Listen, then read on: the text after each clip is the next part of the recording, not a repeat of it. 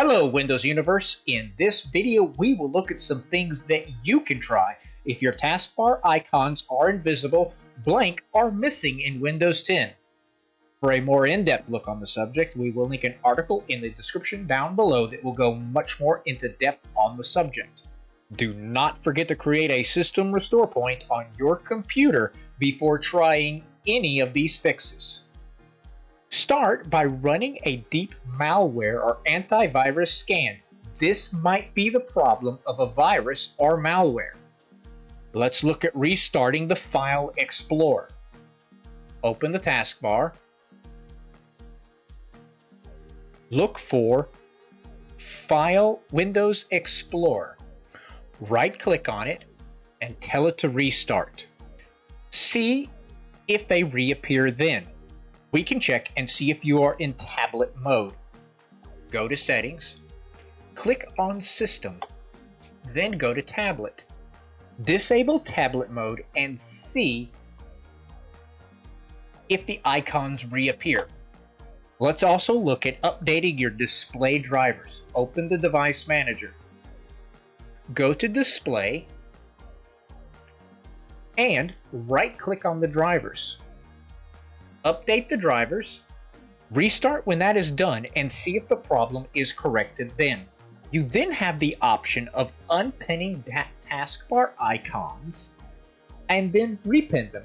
Right click on his icon, unpin from the taskbar. After you have unpinned them all, restart your computer and then repin your tasks, your icons, and see if that helps the next three suggestions. You can go in manually and make these adjustments yourself, or you can use one of the many freeware programs that the Windows Club offers. I will show you how to use the applications.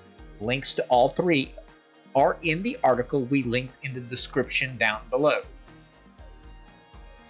Open the thumbnail and icon cache rebuilders for Windows 10.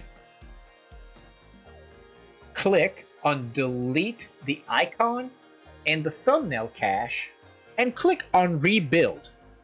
After that's finished, restart your computer and see if that has helped. We can then try and run the file association fixer to fix PNG and JPEG associations. Click on Fix Files, make sure that PNG and JPEG, and JPG are selected. If Windows had a problem in reading those files, then this will help. Click on Fix Selected, restart your computer when it's done, and see if this works. Then we need to run the SFC and DISM. You can do those with the FixWin utility. Run the System File Checker utility, then run for the repair Windows system image, and finally run the re-register store apps. After that is done, restart your computer and see if the icons reappear. If you are still having trouble, then restoring your computer to a time point before you are having this problem might be a smart move. Type restore in the task. In system protection, click on system restore follow the command prompts, and finally, restore your computer. After that, you will have to reinstall any software or devices that you installed after that restore point. Pay attention as you reinstall those items. If you start having that problem after a particular program is reinstalled, then that might be the problem. At that point, you can uninstall it or troubleshoot the device. For more articles on how to get the most out of your Windows experience, go to our website, thewindowsclub.com.